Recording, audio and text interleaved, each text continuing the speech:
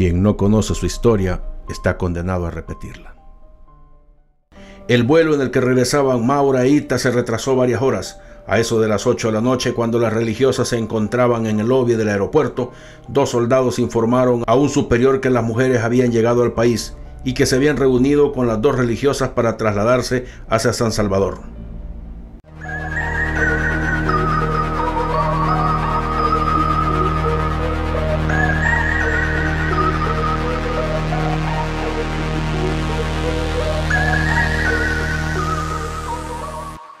Han pasado 42 años del cruel asesinato de cuatro religiosas estadounidenses a manos de la Fuerza Armada del Salvador. Durante la conmemoración de la muerte de las religiosas, organizaciones sociales exigieron que el Estado salvadoreño reabra el caso, investigue y condene a los jefes militares que en 1980 ordenaron y respaldaron el crimen que conmocionó al país y a la comunidad internacional. Pese a que dos años después del asesinato, un juzgado salvadoreño condenó a cuatro soldados que participaron en el crimen que incluyó tortura y violación contra las religiosas estadounidenses, muchos consideran que la impunidad en el caso Marik Knoll continúa porque los altos mandos militares que dieron las órdenes de asesinar a las mujeres nunca estuvieron en el banquillo de los acusados. Con la condena de los cuatro soldados en 1982, el Estado salvadoreño cerró el caso y desde entonces no se habla más sobre el crimen. El Ministerio de la Defensa Nacional ha reiterado públicamente en varias ocasiones que los documentos sobre crímenes ocurridos durante la guerra civil en El Salvador son parte de un archivo privado y clasificado que le pertenece al Estado. Estamos aquí para honrar la memoria de las cuatro mujeres que fueron asesinadas cruelmente por la Guardia Nacional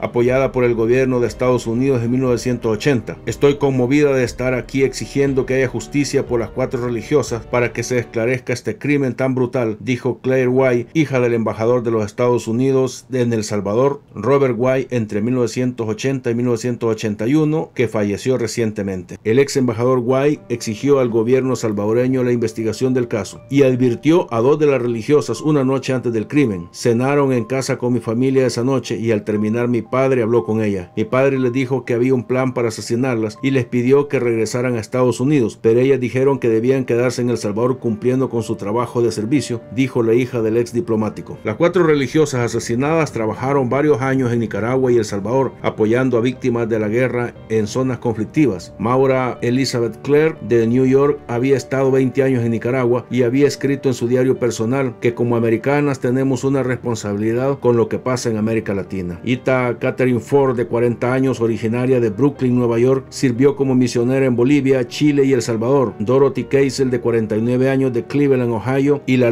Jen Donovan, de 27 años, también de Cleveland, realizaban tareas de asistencia en comunidades pobres en la zona norte y central de El Salvador durante 1980, uno de los años más violentos de la guerra civil salvadoreña. Maura Clark e Ita Ford llegaron para trabajar en El Salvador el mismo día del asesinato del obispo mártir Oscar Arnulfo Romero, el 24 de marzo de 1980. Poco tiempo después se reunieron con las otras dos religiosas, Marik Knoll. Aunque en ese periodo habían incrementado los asesinatos de sacerdotes religiosas cometidos por grupos paramilitares y de derecha en el país, las misioneras decidieron continuar con su labor de servicio a los pobres y se dedicaban desde entonces a trasladar víveres, ropa y artículos de primera necesidad para los afectados por el conflicto armado entre los departamentos de La Libertad y Chalatenango, este último fuertemente golpeado por el conflicto armado. A finales de noviembre de 1980, Maura Clark e Ita Ford salieron del país para participar en el Congreso de las Religiosas Merrick Knoll que se realizó en Managua, Nicaragua, y al regresar a Salvador se encontraron con Jane Donovan y Dorothy Keisel en el aeropuerto salvadoreño. De acuerdo a algunos documentos que presentó el ex embajador White durante la investigación, la Fuerza Armada salvadoreña había seguido los pasos de las religiosas durante meses y en los documentos a los que tuvo acceso el ex embajador consta que los militares salvadoreños afirmaron que las Merrick Knoll eran parte de un plan que tenía el grupo guerrillero Fuerzas Populares de, Liberación para realizar un ataque. El vuelo en que regresaban Maura e Ita se retrasó varias horas. A eso de las 8 de la noche, cuando las religiosas se encontraron en el lobby del aeropuerto, dos soldados informaron a un superior que las mujeres habían llegado al país y que se habían reunido con las dos religiosas para trasladarse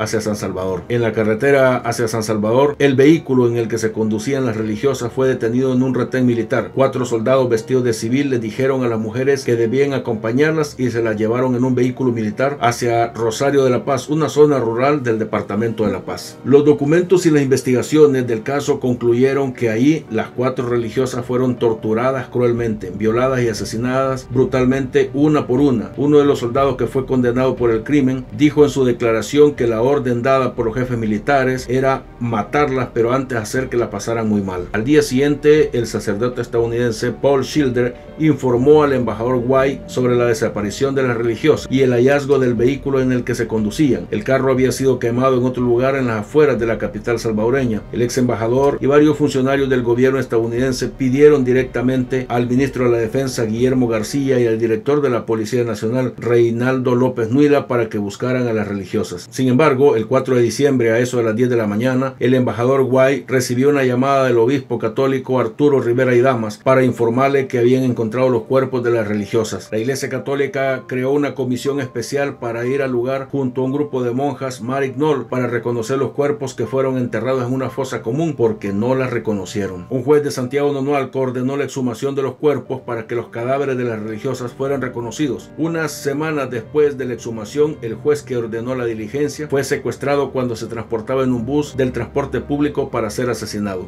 Al día siguiente las autoridades informaron que encontraron su cuerpo en una zona rural de la capital.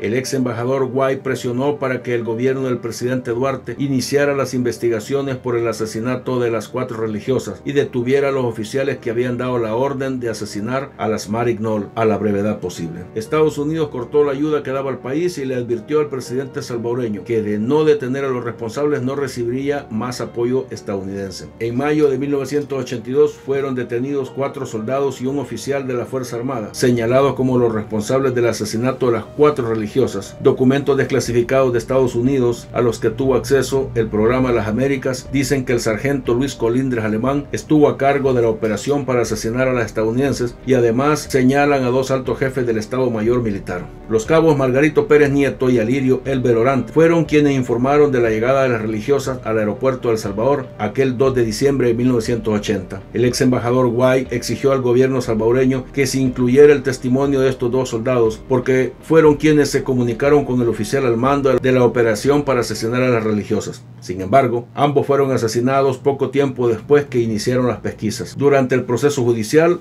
los soldados Carlos Joaquín Contreras Palacio, Francisco Orlando Contreras, José Roberto Moreno Canjura, Daniel Canales Ramírez y Salvador Rivera Franco fueron condenados por el asesinato de las religiosas Marignol. En el juicio se determinó que estos hombres fueron quienes se llevaron a las mujeres hasta el sitio donde las asesinaron y también participaron en las torturas. Sin embargo, ocho años después, los soldados Ramírez y Moreno quedaron en libertad por buen comportamiento. El resto, quienes confirmaron que fue el sargento Colindres Alemán, fue quien ordenó el asesinato, cumplieron con su pena de 30 años en una cárcel común en San Salvador, pero no hay rastro de ellos. Los oficiales al mando del Ministerio de la Defensa y el Estado Mayor nunca fueron alcanzados porque la ley de amnistía vigente en El Salvador les ampara. En documentos y cables de la Embajada de Estados Unidos en El Salvador, que fueron liberados después de la investigación del crimen de las cuatro religiosas Knoll a las que tuvo acceso el programa Las Américas y reclasificados para que los familiares de las víctimas no pudieran analizarlos, se señaló a dos jefes del Estado Mayor Conjunto de la Fuerza Armada salvadoreña como los responsables de ordenar el crimen. Guillermo García, ministro de Defensa, y Eugenio Vides Casanova, jefe de la Guardia Nacional entre 1979 y 1983, fueron los oficiales señalados en los documentos y también en el informe de la Comisión de la Verdad que investigó crímenes que ocurrieron durante la Guerra Civil. Ambos emigraron a Estados Unidos en 1989, donde se instalaron como residentes en el estado de Florida. En el 2000, un grupo de abogados contratados por familiares de las religiosas demandaron penalmente a los generales Guillermo García y Eugenio Vides Casanova, pero fueron declarados inocentes por la Corte de Florida. En el 2003, la Corte Suprema de Estados Unidos negó la apelación de los abogados demandantes. Dos años después, en otro juicio, ambos generales fueron condenados por la misma Corte a pagar 54 millones a tres víctimas de tortura de la guerra civil. En 2009, ambos militares retirados fueron notificados sobre su proceso de deportación por haber cometido y asistido crímenes de guerra y violaciones a derechos humanos sin denunciar ninguno de los casos. Vides Casanova fue detenido en marzo de 2015 en su residencia en Paul Coast, Florida, y deportado un mes después hacia El Salvador. García perdió recientemente la batalla legal para mantener su residencia en los Estados Unidos y está a la espera de su deportación.